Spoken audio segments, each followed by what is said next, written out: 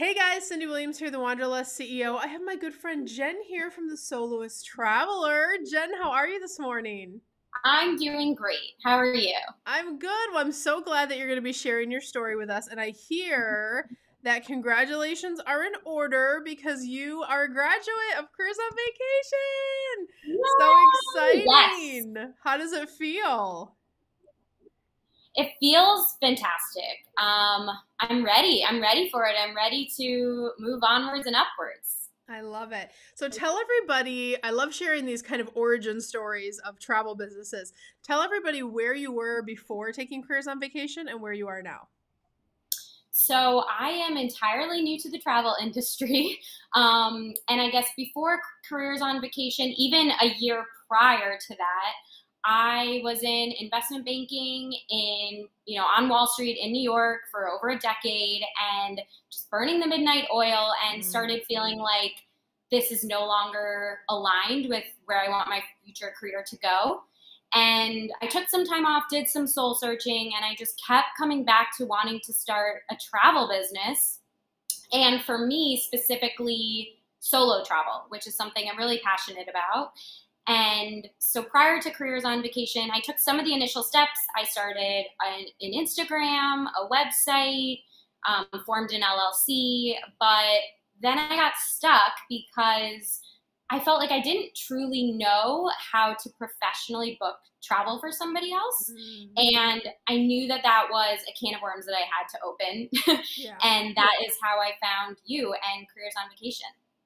I love that. And I love your niche too. Like, I think there's so much buzz around solo travel and women getting more comfortable going to exotic destinations and that whole piece. So I love that you're bringing that to market. That's that's super awesome. What do you feel like has been your biggest win or celebration since taking the program? I mean, no doubt my biggest win is my first client and now having clients. That's so um, exciting, right? Yeah. Oh, it was huge because it took this pipe dream that was in my head into tangible revenue. Um, and that happened during the Careers on Vacation course. So that's definitely the biggest win. Wait, we got to get more confetti over here. That's on a different screen. It's on my, as you know, when we have the training calls, I'm always doing the congratulations as we celebrate.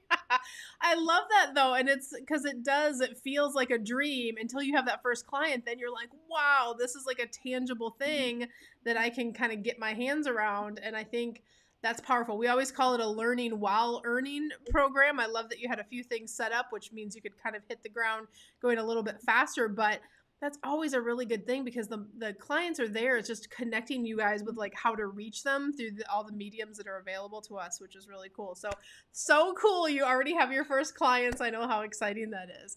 Now, yeah. you know that we do a lot of mindset as kind of a pillar in our company and um, really integrating that through our program to help people wake up to their own potential is how I like to think about it. How did the mindset work impact you in either your life or business? That was a huge piece for me. Um, and I think that is kind of what got me that first client because mm. I dealt with a lot of imposter syndrome and candidly still face some of that today. Yeah. Um, one, because I didn't have a background in the travel industry and I was jumping into it. And then two, because I was used to a corporate setting with a pretty steady paycheck, and all of a sudden that was being stripped away. So the mindset piece was huge for me, and I think it's fantastic that I can continue to go back and refer back to Brandon's videos when I need them because I know that like as I continue to up level this business, there will be new challenges to that mindset piece that I'll need to reinforce. Yeah, mindset work is not something you do once mm-hmm. done, right?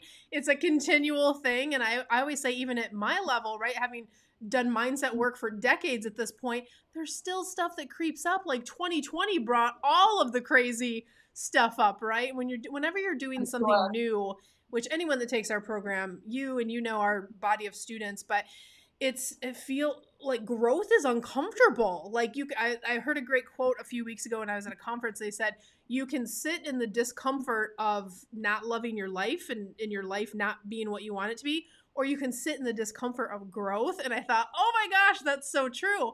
But what helps that discomfort of growth i think is that mindset piece and just like rooting yourself mm. in like imposter syndrome like you said like that was your kind of limiting belief like it's a story you're telling yourself but why can't you be the biggest company in the world for solo travel right? Like why can't you bring it to market? Why can't you do right. things? So i love that. That's amazing jen.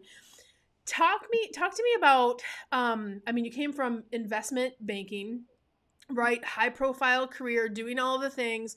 You have this revelation you want to make a life change which by the way i feel like also there's an awakening happening in the world because of the pandemic of people going i want to do what i want to do with my life and maybe i want to have that freedom and do all the things. So kudos to you for leaning in. But take us back to i always like to ask people because a lot of people watching these videos are like they're thinking about working with us or they're thinking about getting into the industry and I think it's powerful to share what that process was like for you when from where you found us. Uh, did you anything you had to overcome? What was it like for you personally to make that decision to start the journey?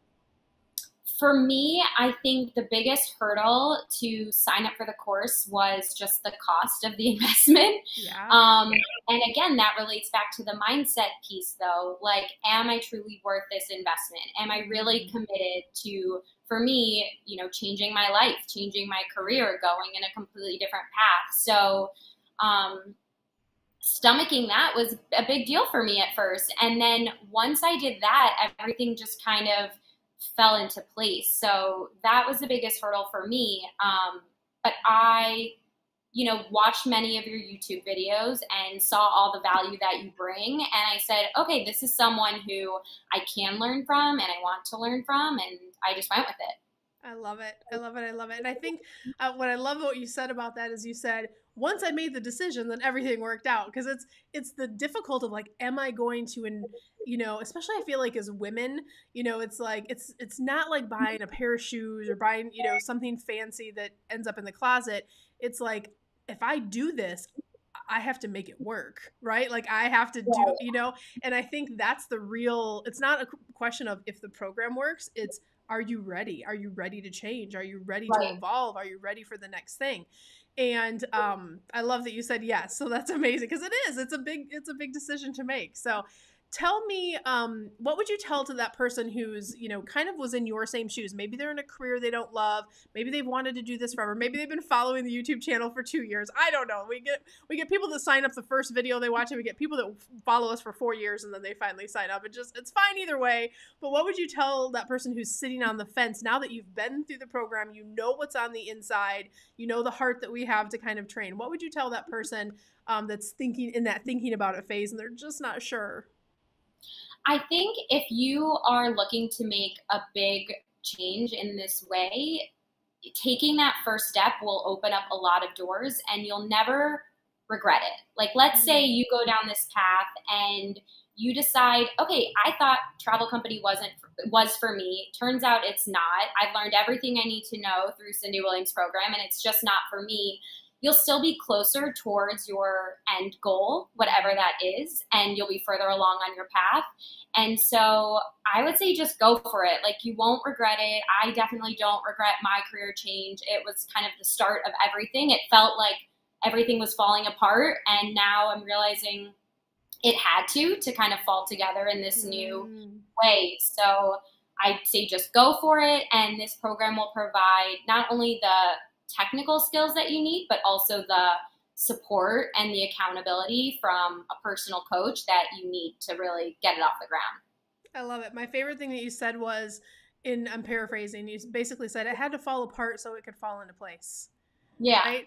And I, I always tell people like if you tell the universe you're going to do a big thing, don't be surprised if stuff has to get shaken up because it's shifting to give you what you want. So sometimes stuff does have to break down so you can build it up. So I love that. And with that, I'm going to say to everyone if you are where Jen was just 12 weeks ago and you're in that thinking about it phase, or maybe you've been following the channel like she was for a little bit, just reach out and do a discovery call with our team. It really, you'll meet with one of our success coaches. You can go to careersonvacation.com slash ready now. The, the goal of that call is really just to understand your goals. And if it is a match to work with us in the Careers on Vacation Mastermind, we will talk to you about how to apply or how to get on the wait list. We are have a little wait list right now because we're, as Jen can attest to, she just came out of class. Classes are full. We're a little busy, but uh, get on that wait list or talk to us so we can at least understand your goals and we'll give you help you get some clarity whether you work with us or not. We that's really our goal in the industry is to support and encourage and inspire and all the things. But Jen, thank you so much for sharing your amazing story today. And you're not going far, you're going over to our grad community. So you know you have a cheerleader for life and now you're part of the cool kids group. So you have a beautiful new family in Careers on Vacation. We're so happy that you made the decision to join us. Thank you. You're so welcome. All right. We'll see you guys next time. Bye, guys. Bye.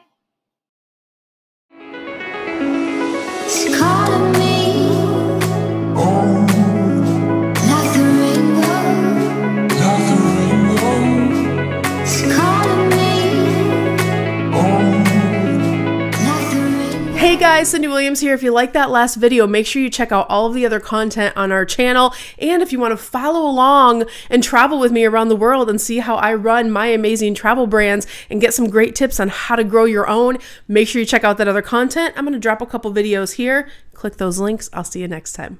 Bye, guys.